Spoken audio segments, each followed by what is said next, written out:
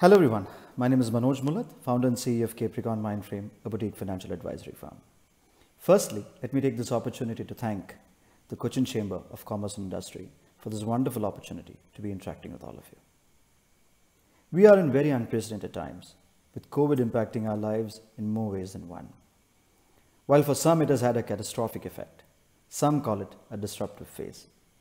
In all of this, government has been planning and executing a slew of reforms of course, to ensure liquidity and boost consumption and spending, including the 20 lakh crore liquidity package. But with the economy opening up in bits and pieces and with, um, you know, uh, lockdowns one after the other, consumption and spending has been lagging. And that's when the government, uh, uh, you know, really sees that the coffers are completely spent so that's when the government presses the panic button and goes for a petrol diesel price hike. And what is peculiar about the price hike this time was that it was a one week continuous activity. So as a student of economics, I thought it was important that we analyze this. And when the Cochin Chamber of Commerce and Industry approached me for uh, a small video, I thought it was important that we discuss this. And um, put across my thoughts about this. So to understand this and to talk in detail about petrol and diesel prices, first we need to understand what is crude oil. So what is crude oil? Crude oil is an unrefined fossil fuel, a petroleum product of course, which is extremely rich in hydrocarbon and uh, you know, organic material that can be refined to produce petrochemicals, gasoline and diesel. Gasoline is further refined to produce petrol. And India's dependence on petrol and diesel, of course, we've been depending on petrol and diesel for at least 47 years now, but the actual dependency started uh, from the year 1984. I mean, the dependency in a larger way started from 1984, uh, where a daily consumption grew from 270 8 barrels per day to what it is 4,800 barrels per day. So now let's understand the, the basic uh, petrol and diesel uh, prices, at least in the case of Delhi. Of course, uh, four important metros that we have, but then I think Delhi is a very classic example of uh, abnormal or supernormal uh, petrol and uh, diesel price hikes. Of course, Delhi and Mumbai. So in the case of Delhi, though in the last 10 years, the dollar, the, the crude oil prices have actually dropped from 71.88 uh, uh, dollars per barrel to what it is today, uh, $40.65 per barrel. The uh, diesel and petrol uh, prices in Delhi have actually gone up to 80.43 and 80.53 uh, rupees respectively, which is 110 and 66 uh, percent uh, jump. And gone are those days when we used to have a 12 and 13 or even a 20 uh, rupee difference between diesel and petrol per liter. And in the case of Delhi, the diesel prices are at least 10 paise uh, uh, above the petrol prices today. Same is the case with Mumbai. Mumbai, in fact, the, uh, the uh, petrol prices have actually gone up 66% from uh, 2010, from 52.2 to 87.19. The diesel prices have actually gone up 103% from 78.83 to 100 uh, to sorry um, to uh, from sorry from 37.99 to 78.33 as on 1st of July 2020. Now, let's understand the constituents of petrol and diesel prices. All we know is the final price that we are told. This would be the you know the, the per liter petrol of petrol or per liter uh, uh diesel uh, per liter price of uh, diesel. But uh, not many of us know the constituents or the the additional taxes that the the state government and the union government charges with, so that we get the final uh, per liter rate of petrol or diesel. So let's understand that. The petrol and diesel prices comprise of five components. Firstly, of course, the crude oil, and crude oil prices come with ocean freight.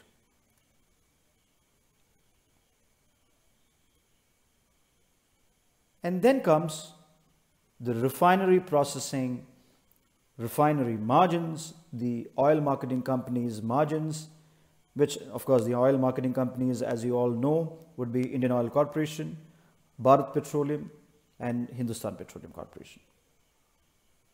And the additional costs are freight costs and logistics. Then comes the fuel price uh, uh, loaded with excise duty and road cess as charged with the central government the commission that has to be paid for petrol pump dealers.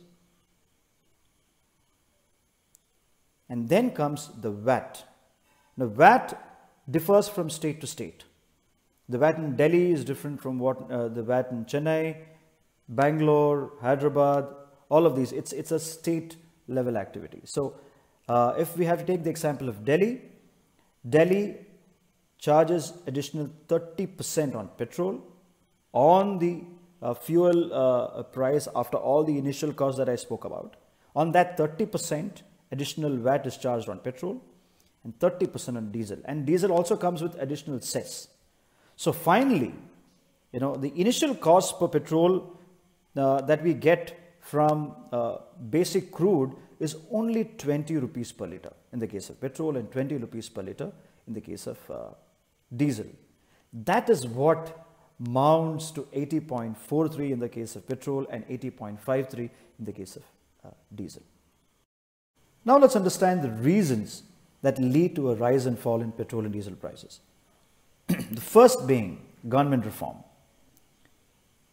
Now till 2014 or I would say till September 2014 the diesel prices at least petrol of course was deregulated uh, deregulated long ago diesel was uh, the prices of diesel were actually uh, controlled by the government of India till September 2014. So when the new government took over in the month of uh, July and then subsequently the government in October decided to deregulate the prices in India, which means the prices were directly linked to the international market rates.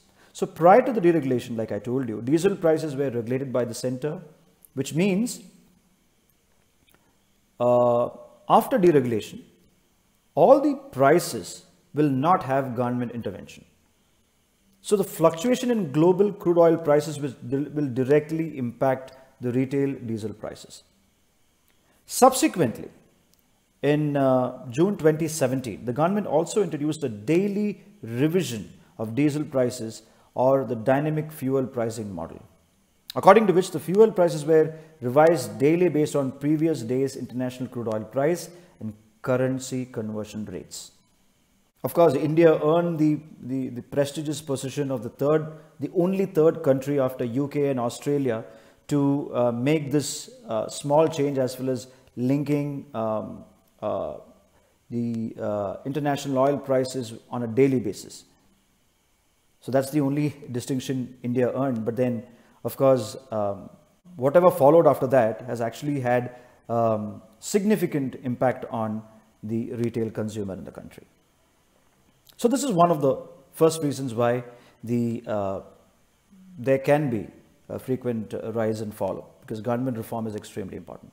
The second one is the lack of a proper tax structure or a GST structure like we have in the case of all other goods and services. Crude or petrol and diesel pricing in the country lacks a uniform tax code. That's a very important reason. So because of this, every state charges us as consumers different taxes. The VAT in Delhi is different from what uh, uh, the Maharashtra government uh, uh charges its consumers in Maharashtra, Mumbai. Tamil Nadu has a different VAT. So that is precisely why you will see different rates for diesel and petrol across the country. Because it's a state level activity. And the third most important uh, uh, reason I would say is of course, government is actually forced to take uh, decisions concerning price hike in petrol and diesel because of global crisis.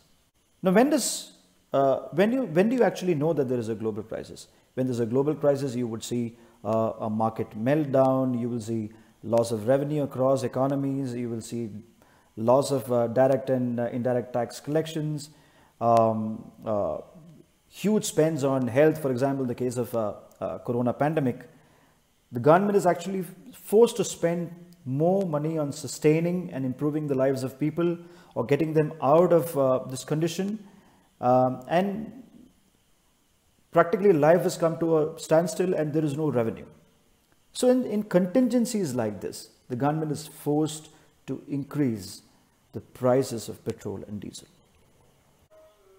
While there can be many more reasons uh, to the rise and fall of petrol and diesel prices in the country, I think three uh, important reasons are these, in my opinion. And I would uh, want to keep it precise due to the lack of time as well.